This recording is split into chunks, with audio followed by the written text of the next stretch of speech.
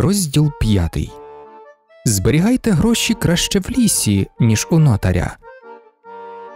Читач, певно, здогадався і не потребує докладніших пояснень, що під час першої кількаденної втечі після процесу Шанматіє Жан Вальжан спромігся повернутися до Парижа і встиг узяти в Лафіта гроші, нажиті ним під ім'ям монтрельського мера пана Мадлена, а боячись бути заарештованим, як воно згодом і сталося, зарив їх у Монфермельському лісі, в так званому урочищі Бларю. Гроші 630 тисяч франків банковими білетами займали небагато місця і вмістилися всі в ящику, а щоб уберегти ящик від вогкості, він поставив його в дубову скриньку, повну тирси каштанового дерева. В ту ж таки скриньку сховав він і другий свій скарб свічники єпископа. Ми пам'ятаємо, що він забрав їх, тікаючи з Монтреля Приморського. Людина, вперше бачена увечері в лісі Булатрюелем, був Жан Вальжан. Пізніше, кожен раз, коли йому потрібні були гроші, Жан Вальжан приходив по них на урочище Бларю. Цим і пояснюються його подорожі, про які ми говорили. В тайнику, десь під кущами вересу, відомому тільки йому, він переховував мотику. Довідавшись, що Маріус видужує, і передбачаючи наближення часу, коли ці гроші можуть стати в пригоді, він вирядився по них. То його ж таки знову бачив у лісі Булатрюель, тільки на цей раз не ввечері, а ранком. Булатрюель дістав у спадщину його мотику. В ящику лежали тоді 584 тисячі 500 франків. 500 франків Жан Вальжан залишив собі. Побачимо, як улаштуємось далі, подумав він. Різниця між цією сумою і шістьмастами тридцятьма тисячами франків, взятими ним у Лафіта, дорівнювала його витратам за 10 років від 1823 до 1833 року. П'ять років перебування в монастирі коштувало йому лише 5 тисяч франків. Срібні свічники Жан Вальжан поставив на камін, де вони блищали, викликаючи величезне захоплення тусен. Жан Вальжан знав, що позбувся Жавера, в його присутності розповідали, та цьому підтвердження він прочитав і в монітер, що тіло інспектора поліції Жавера знайшли утопленим під пральними містками між мостом Міняйл і новим мостом, і що записка, залишена цим зрештою бездоганним і високоповаженим своїми начальниками службовцем, дозволяє припустити раптове божевілля та самогубство Жавера. І правда, подумав Жан Вальжан, він, очевидно, збожеволів, коли, тримаючи мене в своїх руках, пустив на волю.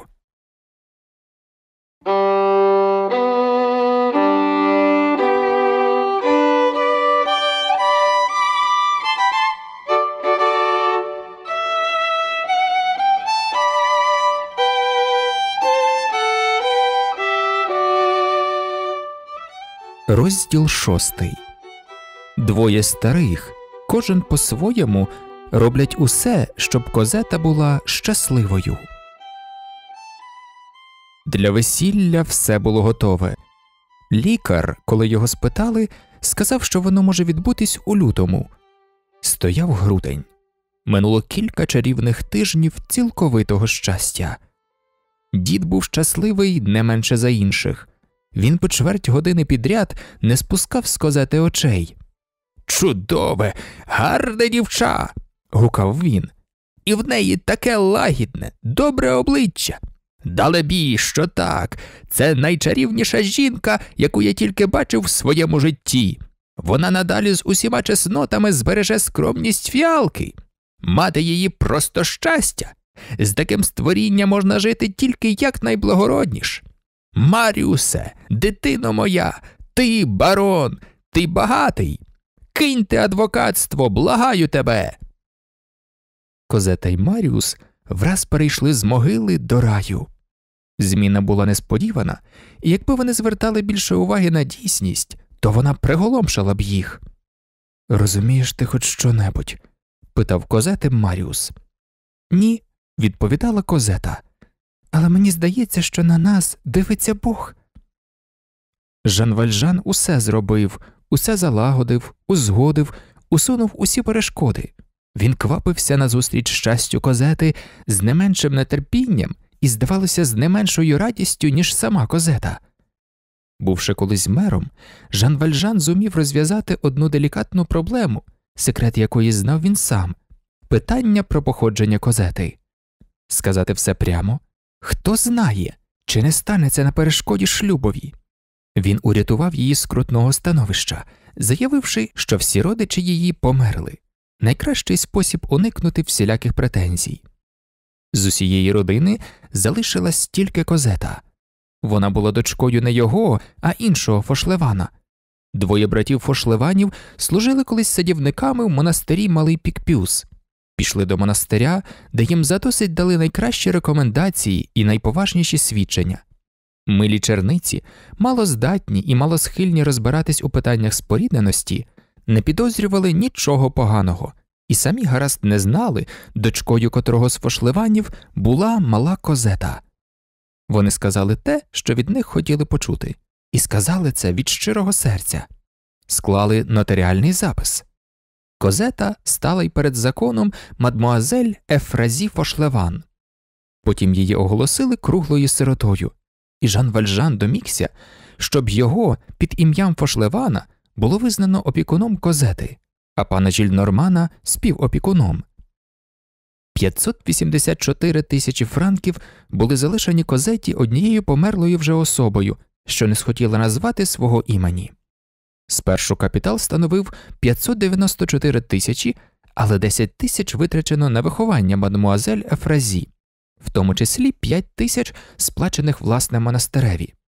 Цей капітал, доручений третій особі, мав бути переданий козеті в день її повноліття або перед шлюбом. Все це, як бачимо, було дуже правдоподібне, особливо зважаючи на підтримку понад півмільйона. Були, власне, то там, то сям деякі неясності, але їх не помітили. Одні з зацікавлених осіб затулило очі кохання, іншим 600 тисяч франків. Козета довідалась, що вона не дочка старика, якого так довго називала батьком.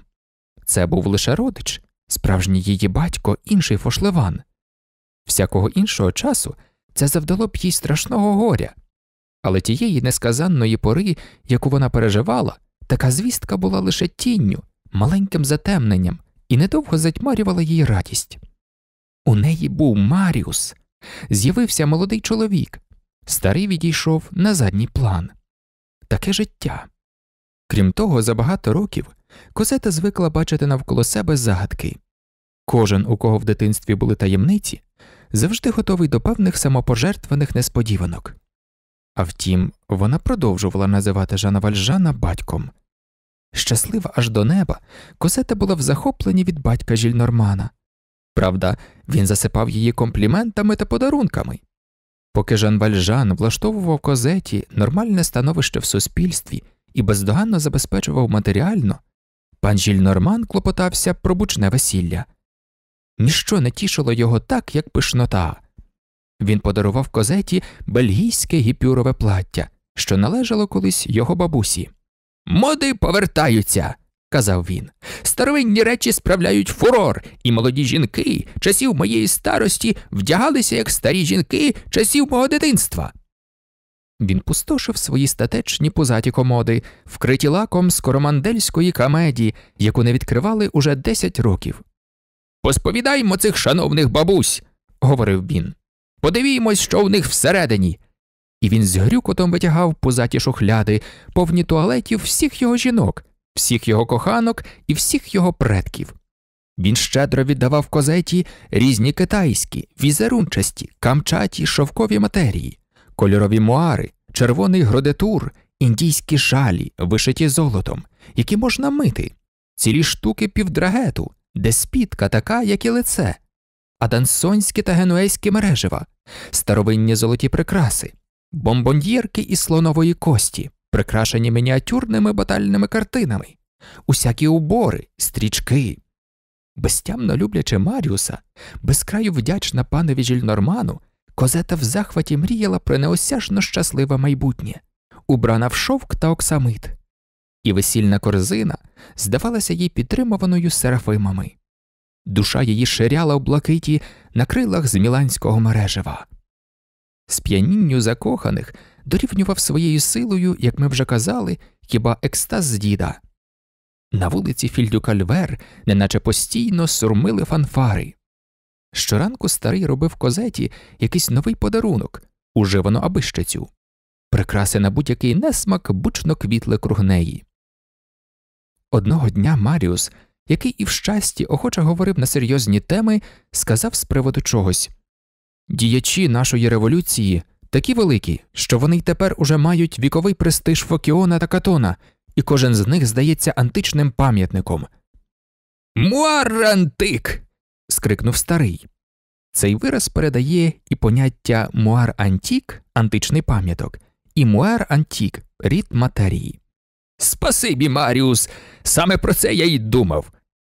І на другий день до весільних подарунків Козеті було додано ще розкішне плаття з муар антику чайного кольору. Із ганчірок дід ухитрявся робити мудрі висновки. Кохання добра штука, казав він, але й до нього треба чогось. Для щастя потрібне те, з чого нема ніякої користі. Кохання це тільки найнеобхідніше. Присмачуйте його скільки можна всім зайвим. Палац і її серце, її серце і лувр, її серце і версальські фонтани.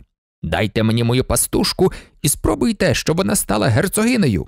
Приведіть до мене Філіс у вінку з волошок і дайте до неї сто тисяч ліврів ренти. Покажіть мені буколічну картину під мармуровою колонадою. Я згоден і на буколіку, і на феєрію з мармуру та золота. Сухе щастя подібне до сухого хліба. Його їдять, але ним не обідають. Я хочу зайвого, надмірного, екстравагантного, намарного, непотрібного ні для чого. У Страсбурзькому соборі, згадую я, бачив годинник у триповерховий будинок заввишки. Він показував години, або вірніше зласкавлювався показувати години, але здавався зовсім не зробленим для цього. Пробивши північ або полудень, полудень пору сонця, північ пору кохання, або всяку іншу до вподоби вам годину, він показував місяць з зірками, і землю з морем, і пташок з рибами, і феба з фебеєю, і цілу низку різних штук, що виходили з ніші, і дванадцять апостолів, і імператора Карла V, і Апоніну з Сабіном, і на додаток купу маленьких позолочених добродіїв, які сурмили в сурми. Я не кажу вже про чудову гру дзвонів, якою він з усілякої невідомої нагоди виповнює повітря. Хіба можна рівняти це з бридким звичайним циферблатом, що показує тільки час? Щодо мене, то я на боці великого страсбурзького годинника і віддаю йому перевагу над шварцвельською кукушкою. Особливо багато розводився пан Жільнорман про весілля, і в його дефірамбах, як у дзеркалі, безладно відбивалося все XVIII сторіччя. Вам невідомо мистецтво святкувати. Ви тепер не вмієте влаштовувати дня радості. Кричав він. Ваше дев'ятнадцяте сторіччя кволе, йому бракує розмаху надмірності, воно не знає ні благородства, ні розкоші. Воно завжди поголене начисто. Ваш третій стан несмачний, безбарвний, без запаху і без форми. Мрії ваших буржуазок, коли він, як вони самі кажуть, влаштовуються, це будуар, наново опоряджений палісандровим деревом та коленкором. Місця, більше місця. Пан Скнара бере на себе мадмуазель хапугу. Блиск і пишнота, на воскову свічку наліпили луїдор. Ось ваша епоха. Я волів би втекти до сарматів. А, я казав давно, що все загине ще в 1787 році, того дня, коли бачив, як герцог де Роган, князь де Леон, герцог де Шабо, герцог де Монбазон, маркіз де Собіс, Вікон де Туар, пери Франції їхали до Лоншана на якійсь чортопхайці. Це дало свої плоди. У вашому сторіччі люди справляють свої справи, грають на біржі, заробляють гроші і трусяться над ними. Люди дбають тільки про свою зовнішність і полірують лише її. Зовні вони причепурені, помиті, випрані, вишкрабані, поголені, зачесані, навощені, налощені, натерті, почищені, прочищені, бездоганні, виглянсовані, мов кругляк, скромні й охайні. І разом з тим, любко моя, всередині сумління в них стільки гною і така клоака, що відсахнеться навіть корівниця, яка сікається в руку. Для теперішньої доби я дав би такий девіз брудна чистота. Не серця, Маріусе, дозволь мені побалакати.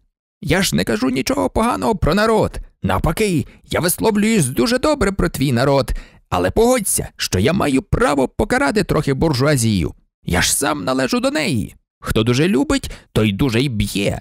Тепер скажу тобі прямо люди одружуються, але вони не вміють уже одружуватися. Ех, я направду жалію за старовинними звичаями. Я жалію за всіма ними. Ця елегантність, це рицарство, ці ввічливі милі манери, той приємний шик, що його мав кожен, музика на весіллі, симфонія на горі, тамбурин внизу, танці, веселі обличчя за столом, хитромудрі мадригали, пісні, бенгальські вогні, фаєрверки, щирий сміх, диявол своїм кортежем, пишні банти й стрічки. Я жалію за підв'язкою нареченої. Підв'язка нареченої це двоюрідна сестра пояса Венери, через що розпочалась Троянська війна? Дідько та ж через підв'язку Єлени. Чого вони б'ються? Чого це божественний діомет трощить на голові Маріонея величезний мідний шолом з десятьма шишаками?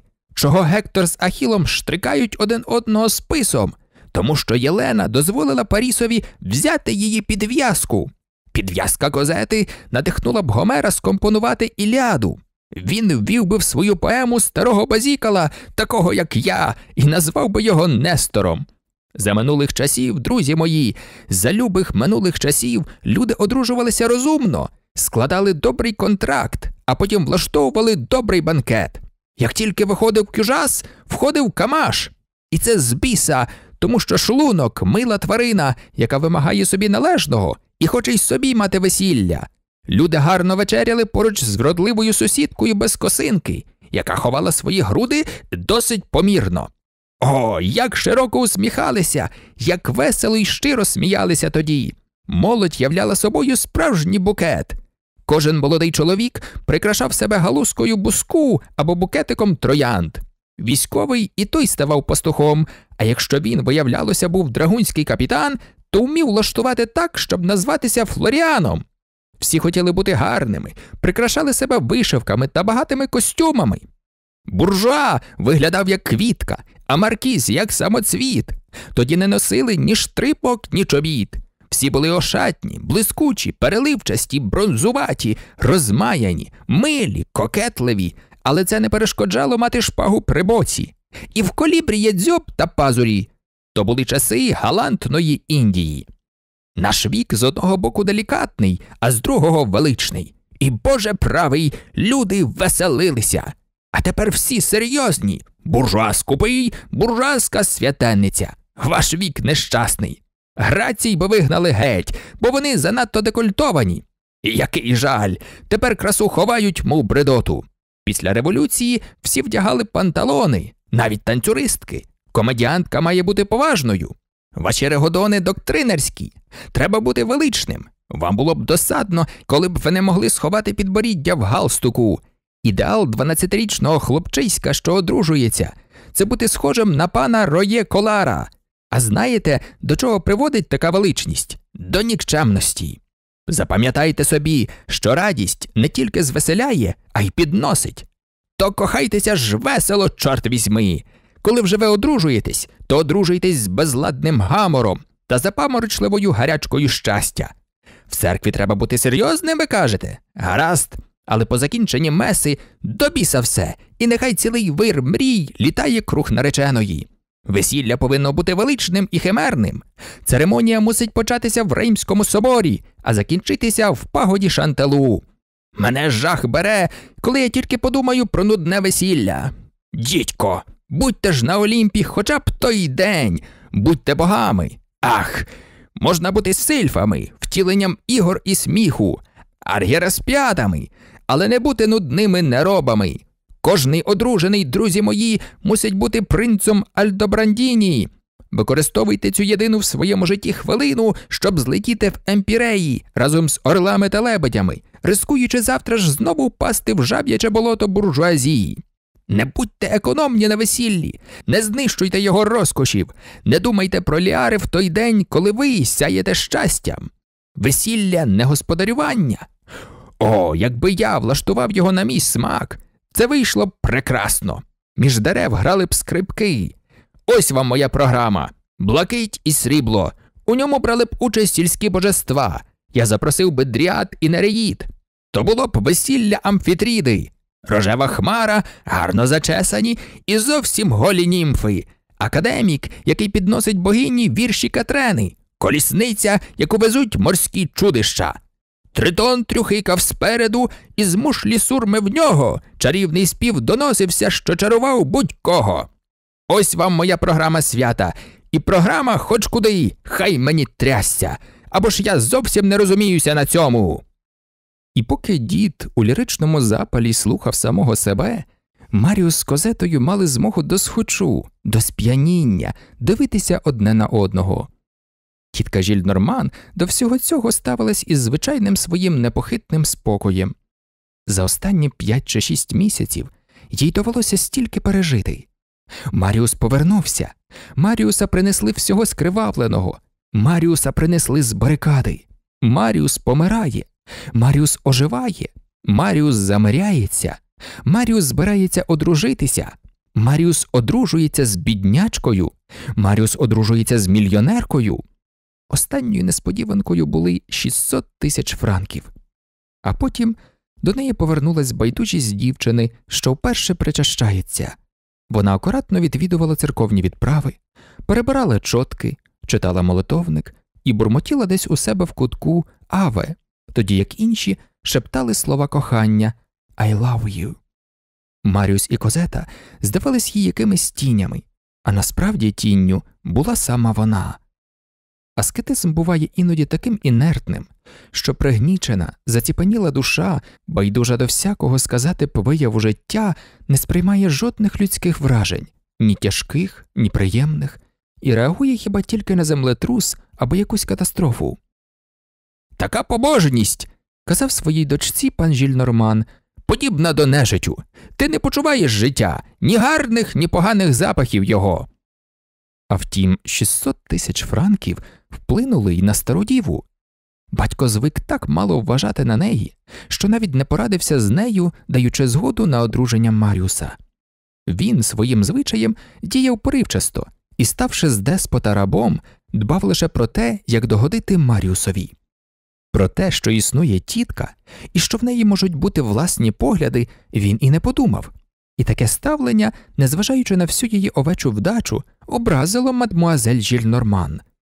Обурена цим в глибині душі, але зовні байдужа, вона сказала собі Питання про шлюб Маріуса батько розв'язав без мене, а я розв'яжу без нього питання про спадщину.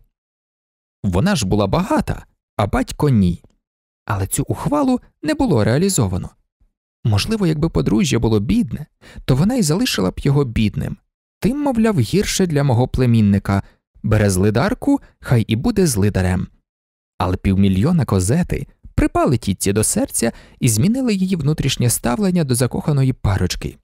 На 600 тисяч франків треба вважати, і мадмуазель Жіль Норман, очевидно, мусила не інакше як залишити свої статки молодим людям, бо вони тепер могли обійтися й без них. Було вирішено, що молоді житимуть у діда. Пан Жіль Норман побажав неодмінно віддати їм свою кімнату, найкращу будинку. Тоді я помолодшаю, заявляв він. Це мій давній проєкт. Мені завжди хотілося справити весілля в моїй кімнаті. Він прикрасив її силою старовинних вишуканих дрібничок. Стіни й стелю він звелів укрити незвичайною матерією, якої в нього була ціла штука, і яку він вважав за справжню утрехтську з оксамитовими квітками мучниці на золотому атласному тлі. Цією матерією, казав він, було задраповане ліжко герцогині Данвіль у рож Гюйоні. На каміні він поставив статуетку з саксонського фарфору з муфтою на голому череві. Бібліотека пана Жільнормана зробилася адвокатським кабінетом, потрібним Маріусові, бо того кабінету, як ми пам'ятаємо, вимагала рада колегії.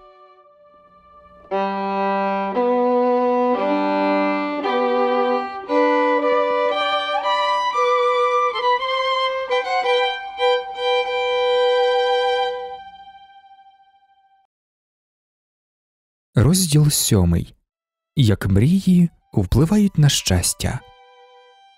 Закохані бачились щодня. Козета приходила в товаристві пана Фошлевана. Все тепер робиться на виворіт, казала мадмуазель Жільнорман. Наречена сама приїздить до нареченого, щоб він упадав там за нею.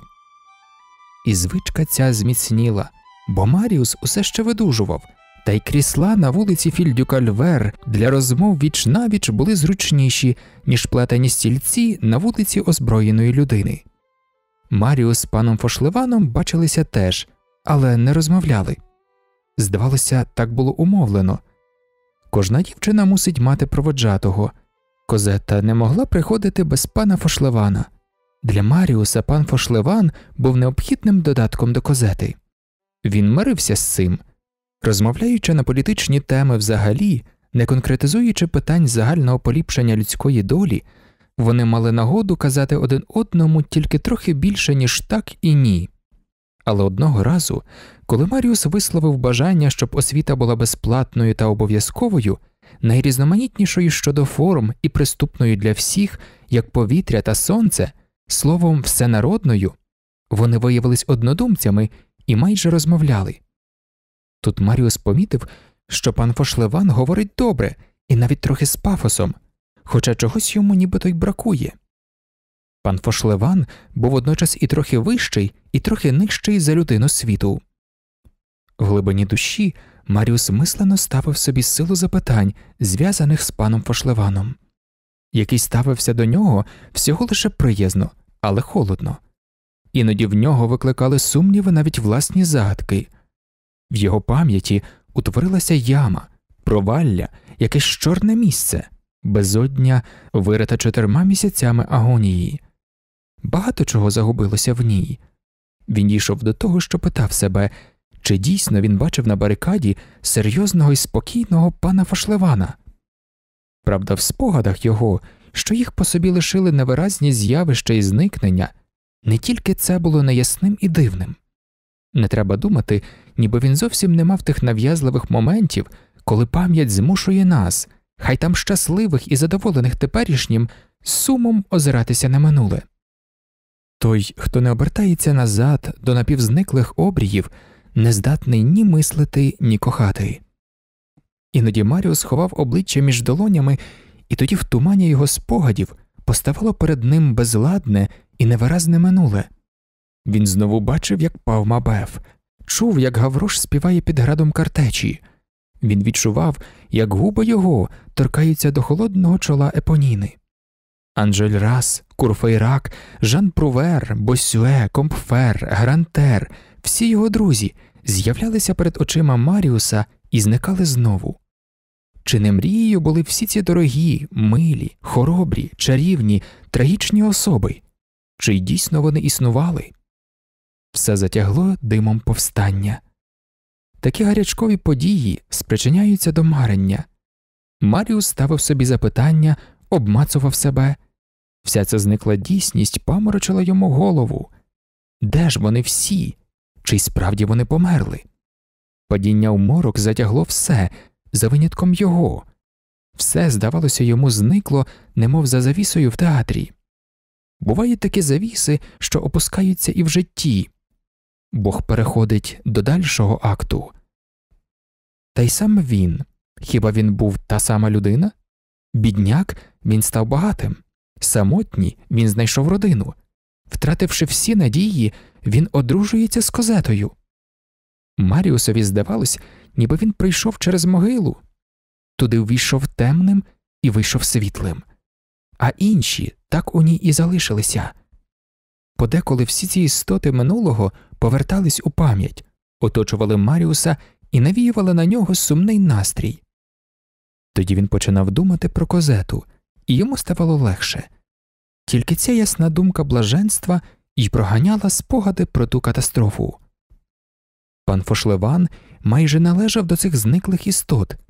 Маріус не був певний, чи справді одна й та ж особа Фошлеван барикади і цей Фошлеван з м'яса та кісток, що з таким серйозним виглядом сидить біля козети. Перший, імовірно, був одним з тих кошмарів, які поверталися до нього і зникали в години марення.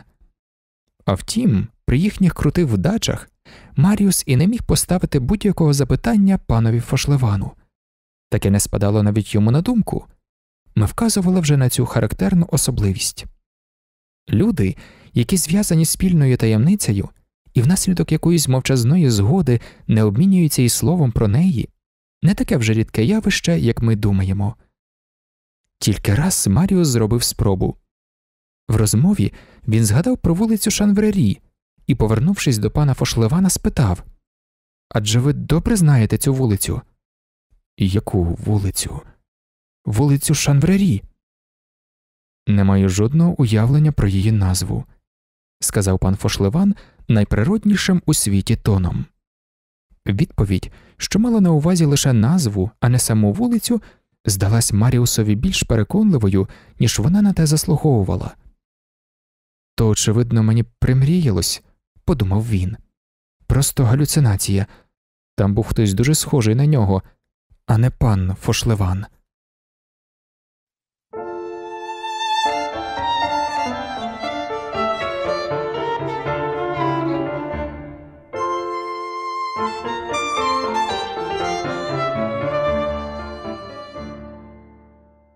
Розділ восьмий Двоє людей, яких не можна знайти.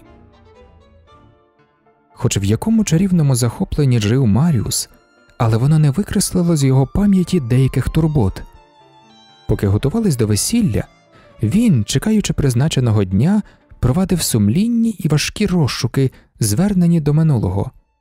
За ним був борг вдячності, як не крутий. Він був вдячний та зобов'язаний і за себе, і за свого батька. Існував Тенардіє, існував незнайомий, що приніс його, Маріуса, до пана Жільнормана. Маріусові хотілося розшукати цих двох людей, і, збираючись одружитися та жити щасливим, він не хотів забути їх і боявся, щоб несплачений борг не затьмарював його відтепер променисте майбутнє. Це здавалося йому неможливим просто полишити колишні страждання позаду, і він хотів, перш ніж радісно увійти в майбутнє, мати квитанцію від минулого.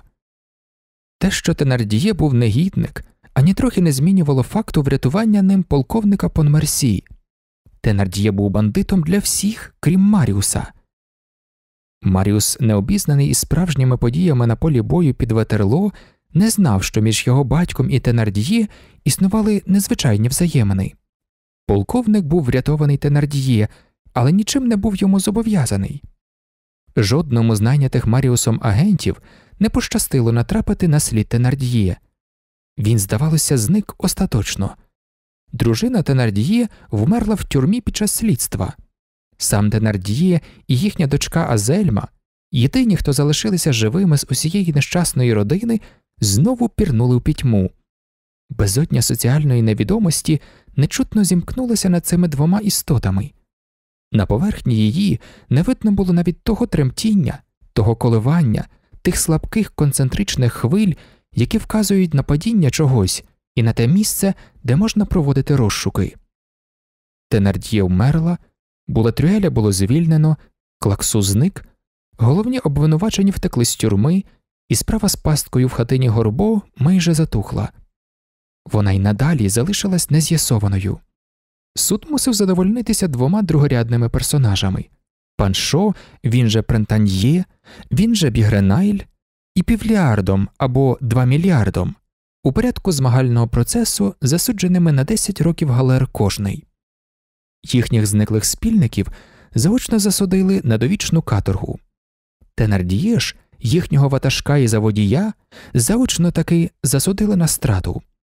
Цей присуд був єдиним, що залишалося від Тенардіє, і він кидав на це поховане ім'я своє зловісне світло, немов свічка біля труни.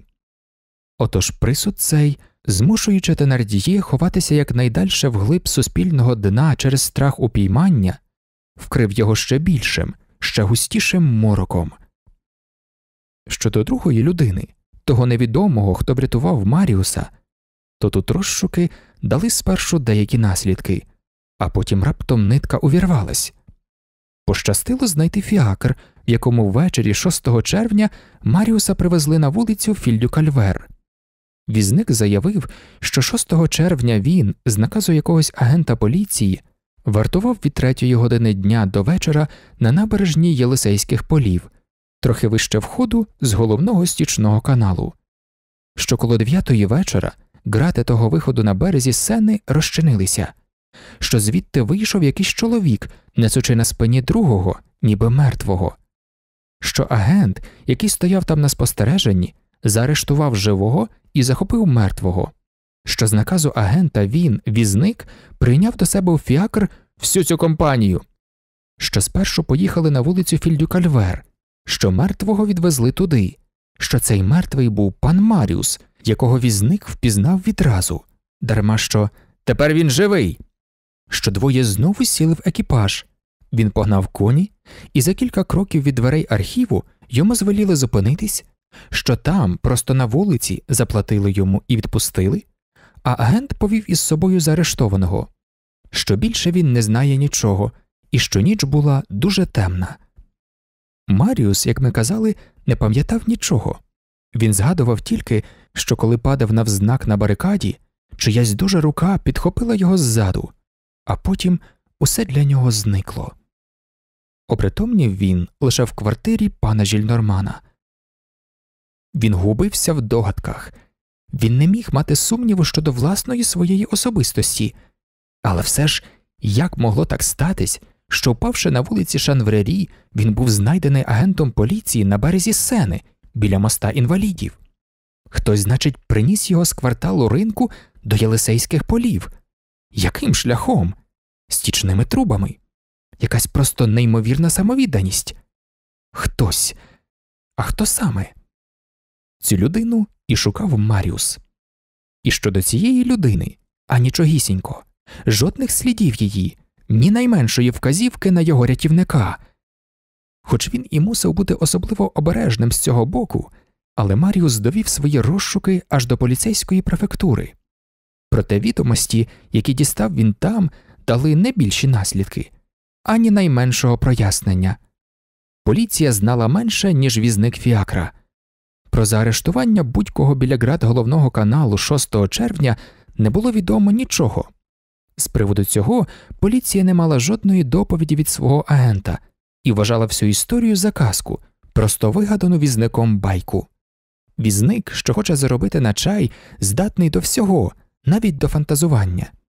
А факт, проте, був беззаперечний, і, не сумніваючись у своїй власній особистості, як ми вже казали, Маріус не міг брати під сумнів і його. Все в цій дивній загадці було нез'ясовним. Що сталося з тим невідомим, тим таємничим чоловіком, який перед очима візника вийшов з головного каналу з зомлілим Маріусом на спині і якого підстерігав і арештував за очевидне злодіяння агент поліції? Бо ж він врятував повстанця. Що сталося з тим агентом? Чому мовчить цей агент? Може, чоловік той здобувся і втік? Може, йому вдалося підкупити агента? Чому не дає він про себе жодних відомостей Маріусові, який зобов'язаний йому всім? Безкорисливість його була не менш дивовижна, ніж його відданість. Чому цей чоловік не з'являється? Може, він не хоче нагороди, але ніхто не може ухилятися від подяки. Чи не вмер він? Хто він? Як виглядає? Цього ніхто не міг сказати. Візник відповів Ніч була дуже темна. Ошелешені Баск і Ніколета дивилися тільки на їхнього молодого, всього закривавленого пана. Бачив цю людину лише швейцар, свічка якого освітлювала трагічну картину прибуття Маріуса додому, але він схарактеризував його так той чоловік був страшний. Надіючись полегшити цим собі розшуки, Маріус зберіг закривавлений костюм, що був на ньому, коли його принесли до діда. Розглядаючи фрак, він помітив, що одна пола на ньому якось чудно розірвана, їй бракувало клаптя матерії. Одного вечора, в присутності козети і Жана Вальжана, Маріус розповідав про всю цю незвичайну пригоду, про безліч довідок, які він зібрав, і про марність усіх його спроб.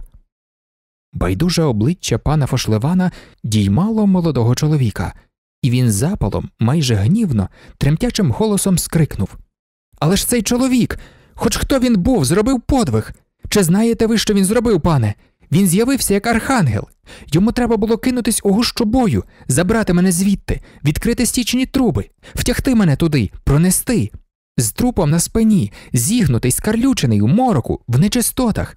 Він мусив пройти понад півтора льє жахливими підземними галереями, понад півтора льє добродію із мерцем на спині. І з якою метою? З єдиною метою врятувати цей труп. А труп той був я.